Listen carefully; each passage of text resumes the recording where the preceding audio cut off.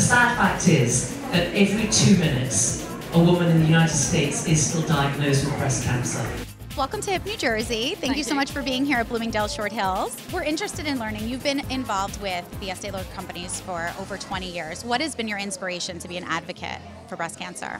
I was very inspired by the founder of the Breast Cancer Research Foundation, the late Evelyn Lauder, who was Estee Lauder's daughter in law. She was a wonderful woman. She was an inspirational leader. She, she formed the foundation, she formed the BCA campaign, and we just learned so much from her, from her energy and her commitment and her dedication to the cause. It was some, the most important thing in her life after her family. We've been raising funds and awareness for over 20 years now, and we think the awareness is pretty high. It can always be higher, and we will continue to do that.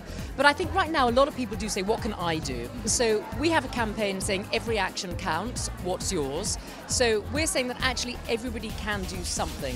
This year, 2015, for breast cancer awareness, if you're over 40, you could say, I'm going to have a mammogram, or you could say, I'm going to make sure my mother, or my sister, or my aunt, or my grandmother has a mammogram this year, or you could say, I'm going to raise $100, I'm going to raise $1,000. Whatever you want to do, we're saying, why don't you write that down, maybe put it on our website, bcacampaign.com, and tell us what your action is, because we can all do something.